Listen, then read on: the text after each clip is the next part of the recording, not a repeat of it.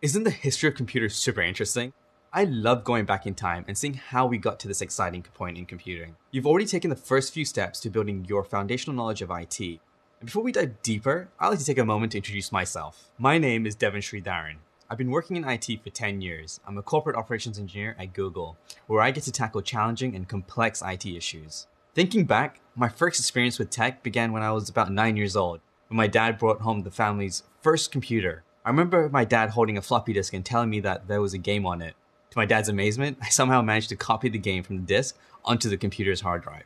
While it might seem like a trivial task now, this device was just so new to us back then. Sure, I loved the different games I could play, but what I really loved was tinkering with the machine, trying to get it to do what I want it to do. While that floppy disk and com- computer might have ignited my passion for technology, it was actually my first few job experiences that really started to shape my IT career.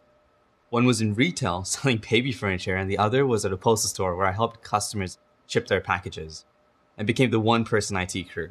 It might sound odd that working in retail inspired my career, but I realized I really enjoyed communicating with customers, trying to understand their needs and offering a solution. My first experience working directly in IT was in college as an IT support specialist intern.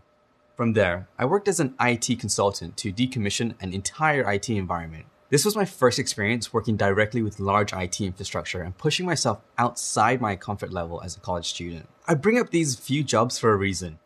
These experiences helped shape my career in IT. I knew at that time that I wanted to go into tech, but I struggled where I wanted to focus my career. Starting at Google as an IT generalist allowed me to experience many different areas of technology. It allowed me to figure out the jobs I didn't want to do before I was able to identify exactly what I did want to do really passionate about IT infrastructure, but you can't understand infrastructure until you understand hardware. So let's dig in. In IT, hardware is an essential topic to understand. You might find yourself replacing faulty components or even upgrading an entire fleet of machines one day. By the end of this lesson, you'll be able to describe all the physical parts of a computer and how they work together. You'll even be able to build your own computer. Once you figure out how one computer works, you'll be able to understand how any type of computer works. Excited? I am. Let's get started.